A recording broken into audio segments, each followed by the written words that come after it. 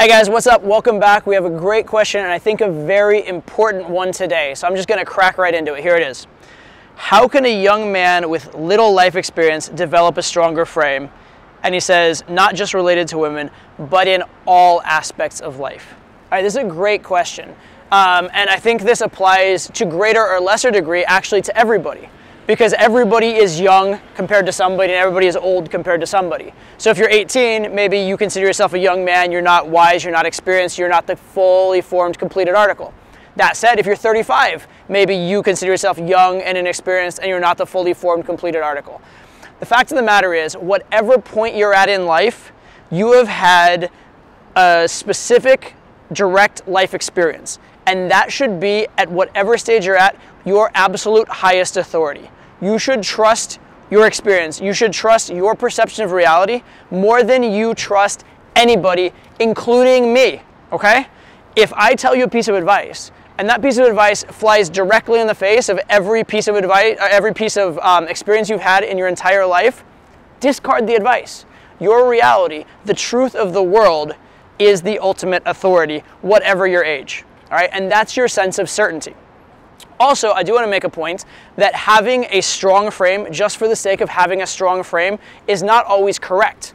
One of the benefits of being young is that you have some flexibility in your frame. You're still learning, you're not hardened in your ways. And by the way, if you're older, don't be too hardened in your ways. So you want to have a strong frame. You want to believe what you believe until and unless it's proven wrong. At which point you want to pivot and believe what's right. If you sort of stubbornly cling to your beliefs even when they're wrong, that's not doing you any service either, okay? But specifically for young people or people that are considered societally young, let's say someone that's in their college years or someone in their late high school years or who's just become a grown up, just become an adult, that's the key word. This word grown up okay? Fact of the matter is you need to consider yourself that. You need to get rid of this idea that there's a world where these, these all-knowing grown-ups out there who have all the answers and they're bestowing their wisdom down upon you. Because what's gonna happen, you're gonna reach a certain age and you're gonna realize, oh shit, this is the age where I'm supposed to be a grown-up. And I'm looking at all my friends who are that age, and I'm as smarter, smarter than them, and we're all fucking lost and confused. And then it's gonna dawn on you that throughout all your life, when your parents and your teachers were the authority figures, they were just as lost and confused as you are in that moment right now. So the fact of the matter is, you know what you know, right? You have your life experience, and that is the only authority you can use. You can't use anybody else's life experience as your basis. Now, you can read and get ideas and incorporate that and compare it to your life experience and take what's useful to you. You can go find mentors and you can compare that to your life experience and find what's useful to you. But at the end of the day, you have to determine for yourself what is reality. Anything else leads to insanity, right? It's the only way you can live without going insane. And at whatever age you are, that's what you need to believe to be the case. I want to throw in one more point, and this is kind of interesting because this happens basically every single time that I have a boot camp where I have an older student and a younger student. Basically every single time the older student says to the younger student, wow man, you are so lucky. I wish I had discovered game at your age. And the fact of the matter is, he's right right? You have, just by virtue of being young, more potential value in some ways than almost any conceivable older person, right? You have every possible life outcome that you could create for yourself over the next 20 or 30 years that puts you above a 40 or 50 year old if you're currently 20, for example, all right? So your potential upside is higher just by being young, right? A newborn baby has more potential in him than almost any conceivable 18 year old or 20 year old or 30 year old or 40 year old, right? Your potential is absolutely enormous. But it's up to you what you're going to do with it.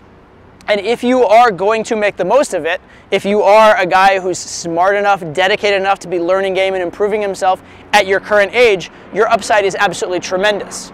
And you need to know, not think, but know that you are moving in that direction. Know that you are moving towards being that future you that you want to be, and know that your time right now and your relationship status right now and being with you right now is worth just as much as being with that person in the long run in, that you could eventually later become is, right? I call this concept borrow abundance from your future.